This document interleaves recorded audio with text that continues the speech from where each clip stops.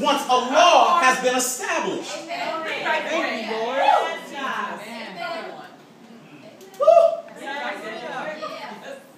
I, I, I, I, just come to ask what you're looking at. See, because when you recognize how to acknowledge Him, He says the blessings of the Lord are sweatless Hmm. Amen. and they add no salt. Yes. I'm, I'm, I'm, I'm out of here, but what you looking at? the blessings of the Lord means that we acknowledge His word as we go along the way. I'm on my way from here to there.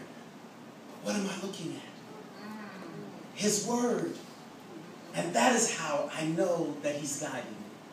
What is it that you're looking at? His word. And that is how I know what He wants for me. What is it that you're looking at? His word. And that is how I know that where I am is where He wants me to be. Hmm. If you haven't looked at His word, then what are you looking at? Amen. Amen. Are you sick? Well, what are you looking at? Hmm. Are you broke? What are you looking at? Are you lonely? What are you looking at? Do you know that God has a word for all? Everything concerning you? And if you find it in the word and you speak the word, it'll change what you see. Amen. Mm-hmm.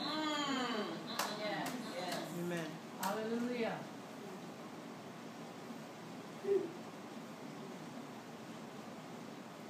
Trust in the Lord with all your heart. Mm-hmm. And lean not to your own understanding.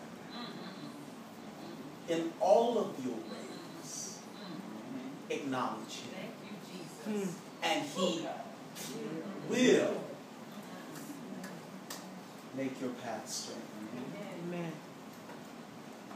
I'm here to tell you that God desires to bless you. It was His creative intentionality when He thought about you. So the only question about whether or not you are where He wants you to be is really what are you looking at? If you change your focus, He'll change your life. Amen. Doesn't mean you won't go through, but it does mean He'll lead you through and you won't have to worry about the shadows. Amen. For He will prove Himself to be your shepherd. Your heads bowed and eyes shut. Eternal God, our Father, it's in the precious, holy, and matchless name of Jesus that we come this day asking that you teach us how to pray.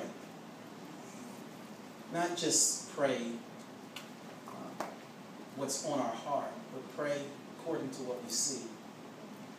And not just pray according to what we see with our eyes, but what we see according to your word.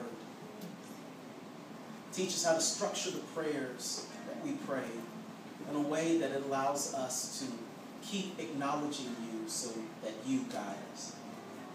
Teach us that it is important for us to be right in you so that we can be sure that you will guide us in all of the ways you have for us.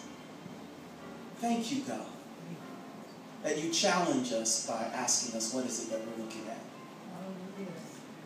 Because there are some things that don't deserve our attention. But you and you alone do. And your word says that if we keep our minds stayed on you, we will be kept in perfect peace. So I pray right now over every life that is under the sound of my voice that they keep their mind on Jesus.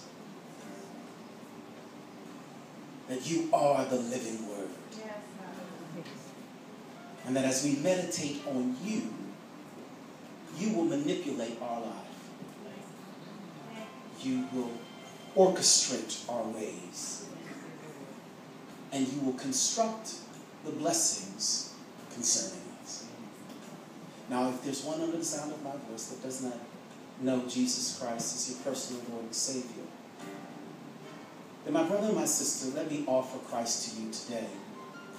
For the Bible says that in the book of John, that the Word became flesh.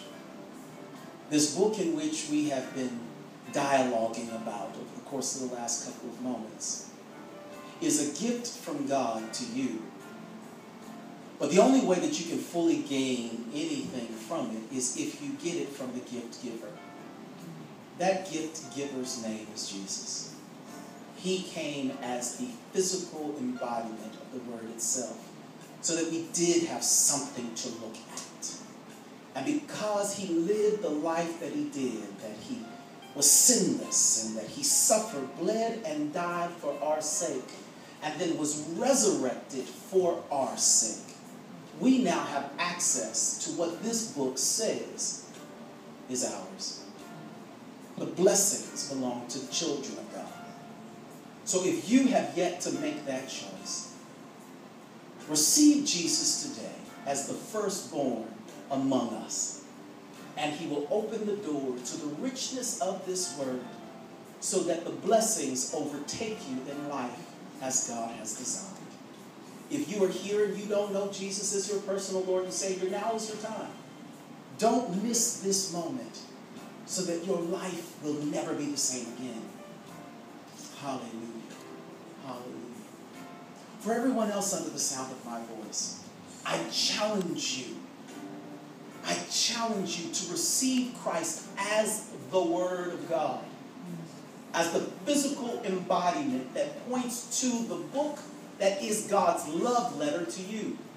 That if you are willing to invest yourself in Scripture, Scripture will guide you in the way that God would have you to go. And in guiding you to the way that He would have you to go, you will find that you will be in pastures that are green. That you lay down beside still waters. That you are at banquet feasts where your cup runs over. Where surely goodness and mercy, they chase you down like a stalker. Thank you, Lord.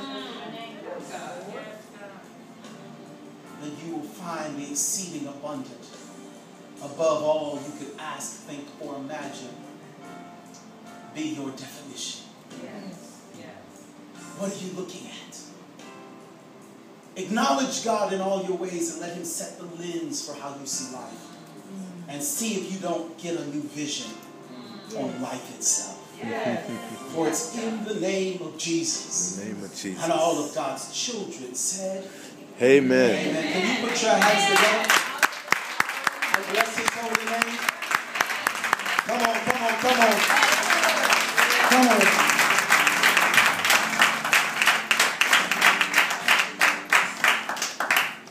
To acknowledge God means that you got to pray. But you got to pray right. Amen? Amen. No more elementary prayers when you want big people things. Amen. Jesus gave us destruction. And then said, get right yourself. Thank you, God, that He didn't just accept my mess. Hallelujah. Hallelujah. Holiness, righteousness, and sanctification Yes. still matter. Still matter. Amen. He accepts us as we come in, but after a while, some of that stuff needs to start shedding off. Amen. Amen. And to help with that, He's given us scripture. Amen? Amen. You can't do it on your own because if you could have done it on your own, you would have done it before you got here. Thank you. And I would have never met you here. Amen. Amen. Amen. Amen. But now that you're here, this is how we get from here to there. Amen. We start changing what we're looking at. We start acknowledging God in all of our ways. And we start acknowledging Him in all our ways. He takes us to the way that is best for us. I could have done my whole message in that two minutes. But there's no fun in that. It's now the time of our service where we get the opportunity to worship corporately through giving. It's offering time. But the Bible makes it very clear, uh, and Jesus says this, that if you give, it will what? Come back to you. How does it come back? Good measure. Pressed down, shaken together, and good measure. Huh, he's got a good measure. God thinks good thoughts concerning you. You know that? pressed down, shaken together, and running over, God will make sure that favor finds you. Amen. Amen?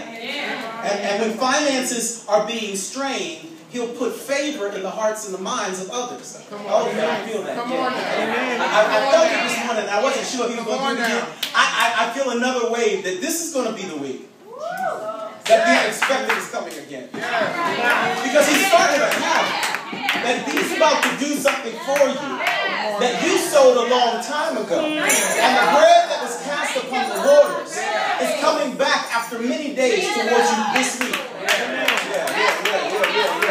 So as you give, know that God has already placed you in the mind of somebody that's looking to bless you this morning.